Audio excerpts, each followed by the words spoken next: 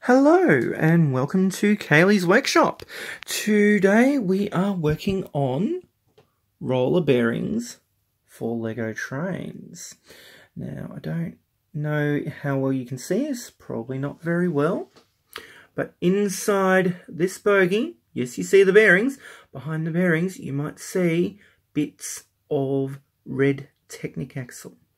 So just to be clear, this video is not for the faint of heart. It does involve modifying Lego parts.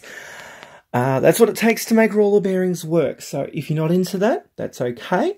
This video is not for you. So these bearings, I've already made these ones. I've done a batch of 50 axles so far. I've got another 50 to go. So these are genuine Lego housings. They are not genuine Lego wheels. These wheels came from Bricktracks and so did the axles. Now, I actually prefer these to genuine Lego axles. Uh, genuine Lego axles, here's a genuine one, is ever so slightly thicker by a fraction of a millimeter. You can't see it. You measure it if you have accurate enough equipment. Micrometer will definitely do it. But um, with the Bricktracks axles, you can hand press the bearings. You don't need any special equipment. You can just fiddle them on by hand, measure them up, slot them in. It's great. The Lego axles are more involved. You'll need some sort of press. Uh, the video I saw on how to do this, which I will not link, he hammered the bearings in. That's a great way to destroy bearings. Have a look how tiny these are are tiny. These bearings, for your information, I got them off eBay in a pack of 100 and they were described as MR52ZZ or MR522Z 2 times 5 times 2.5 millimeter metal shielded ball bearing. Uh, I'll post all the info in the description or I'll put up a pinned up notice. So what we're going to do we I've already fitted all these. These are fantastic. I'm not taking them apart. Uh, they'll probably come apart in about three or four years when I've picked up enough carpet fluff. But until then, they're staying as they are. So we're going to take a Lego one apart.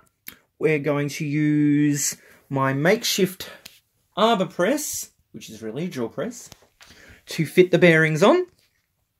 And we're going to assemble a new axle. Oh, and we're going to chop up an old Technic axle. Now, I like using the little red ones for a couple of reasons. Firstly, I find them to be not aesthetically pleasing. Your mileage may vary. You're welcome to your opinion. I'm welcome to mine. But I also like them inside these housings because it's easier to see a red thing. Well, this lighting is not fantastic. In daytime, it's easier to see that there is actually a red axle there and what's going on. Unfortunately, it's not daytime. You'll have to take my word for that. This is how to chop up a Technic axle. We're going to turn one of these, a two length, into four half length axles. Now be very careful with these clippers. They have a lot of spring force. They will absolutely chop your finger off if your fingers happen to be in the middle of the blade when it snaps. Please don't do that. Please be very careful for your safety. I like my fingers. I'm going to keep my fingers. I would hope everyone else does so as well. So this part is going to go springing off with extreme velocity if allowed to do so. So I'm going to press it against my cutting mat. I don't care if I cut my cutting mat, that's what they're for. I'm holding the axle, but I'm holding it far away from the cutting blade. So if these axles end up a little bit too long, they will not fit in the wheel housing. If that happens, you need a file to file them down. You've already modified a Lego brick. What's a file between friends? I won't be demoing that tonight. Just demoing the basic process. That one went flying, but not too far. And the last snip, we've got a one length axle now. Very difficult to grab safely. In fact, I'm going to use my new method of safety. So the bottom one's going to flick, so I'll put that against the mat. The top one's going to flick, so I'm going to use the cup of my pliers to catch it. I'm not opening the pliers, I'm just holding it there as a cup. So when I go ping, there we go. Now, yeah, that's a bit long. I'll have to file that down. I'm going to do that later. That filing is an easy process. That's not really what this video is about. I will keep the pliers close by. So now, I need to take the old axle apart. That's easy enough. Pop, out it comes. That one there is a genuine Lego axle and wheels. Um, so now grab my pliers and out of my pile of axle bits, grab two smallest ones I can, and they go in the two. Can turn the flash on for better lighting? Apparently I cannot, so I do apologise for lighting. see if that helps a bit. It does. So I will. That's that's horrible. There. So, I'm going to pop this axle lengthwise in the two sensor slots. Oh, it'd be nice if you focused. Don't know why it won't focus. We'll make it focus somehow. There we go.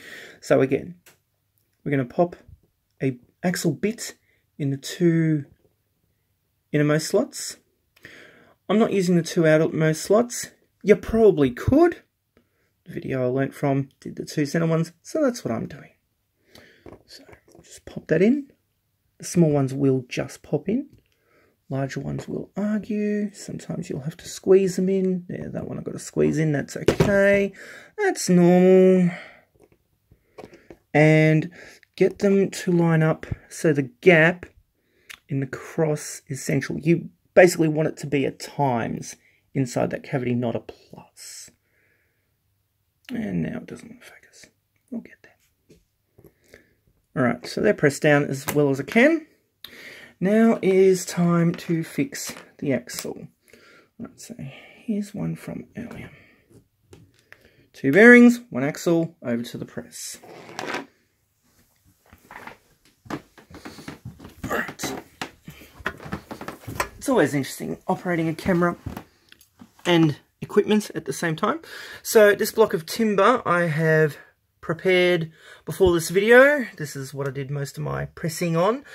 That axle hole is approximately 12 millimeters deep. You'll notice it's a bit of a dimple, so it's a little bit less now, so I've had to re-drill that.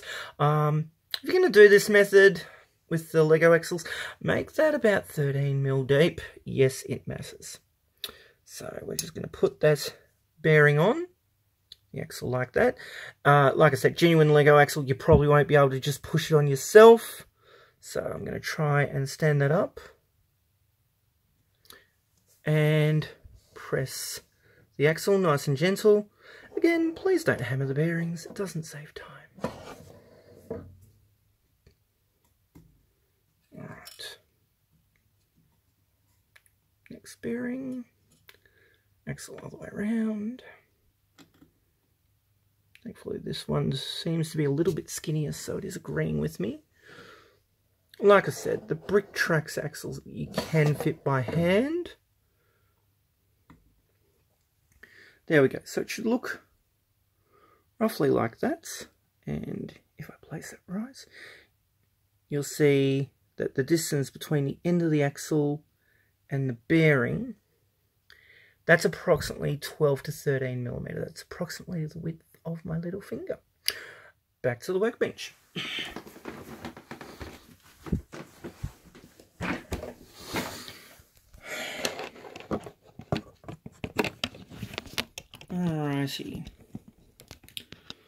So,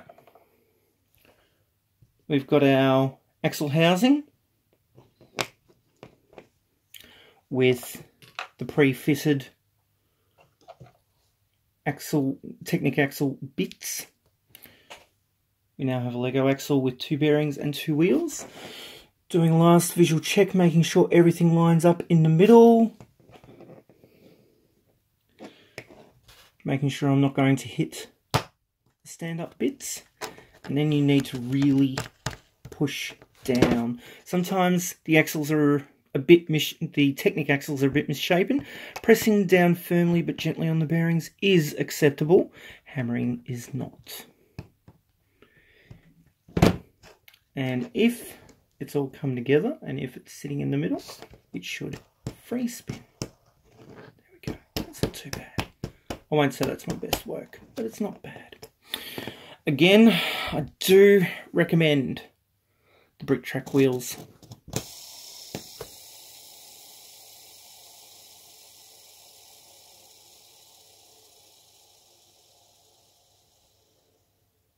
That's a nice spin. Compare that to one of my old genuine Lego bogies.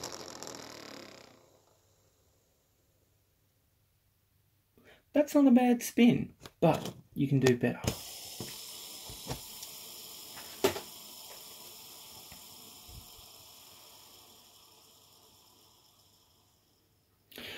So, with all that said and done, we're going to go out to the test track where I've already done a few carriages and show you how effective this is.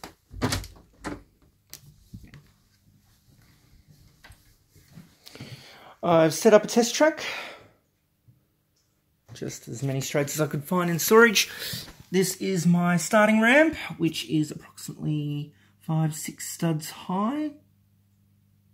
Six? No, that's eight plates high. So here is one of my club cars. I've fitted it with roller bearings, again Bricks Tracks wheels. There's no problem with doing old Lego axles, you give them a lot more life. But if you can get your hands on the Bricks Tracks, you'll save yourself surface in the future. Or if you've got really long trains. Now, I'm just winding this up to the top of the hill, and then I'm going to gently let it go and watch it roll.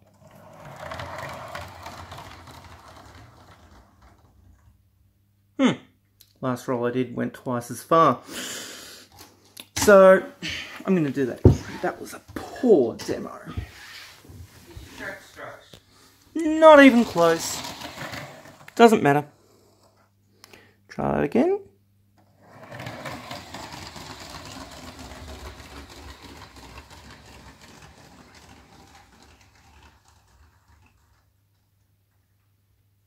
and that's one of the longest demo rolls I've done. So yeah, results do vary. But you can see there's a good roll on that. Now, this is not a club car, so it should be a lighter carriage. Standard Lego axles. And I'll do a couple of rolls just to be fair. But quite frankly, it doesn't roll anywhere near as good. It's not terrible. It's not terrible. But it consistently rolls about that far. So approximately half as far as the roller bearing.